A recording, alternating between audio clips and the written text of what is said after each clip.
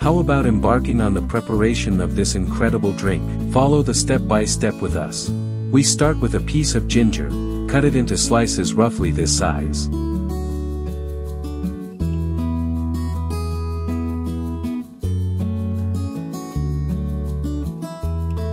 Now, an apple, cut it into smaller pieces.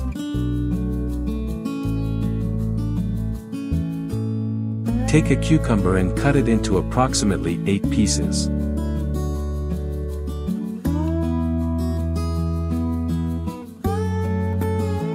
Also, add 50 grams of celery. We can't forget the lemon. Basically, those are the ingredients. Now, put everything in the blender and add 100 milliliters of water.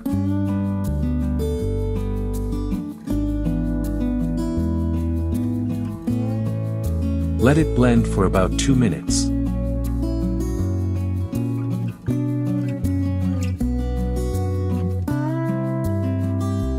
Then, let's strain it.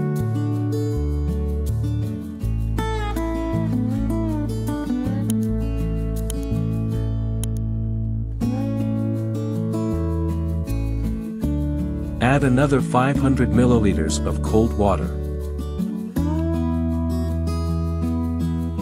For an even chillier experience, put ice in a glass and serve.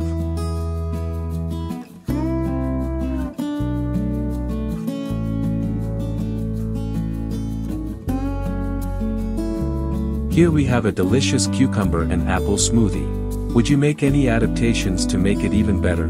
Share with us in the comments. If you enjoyed this smoothie, don't forget to give it a thumbs up and subscribe to the channel for more healthy recipes like this one. Thank you for following along, and until next time.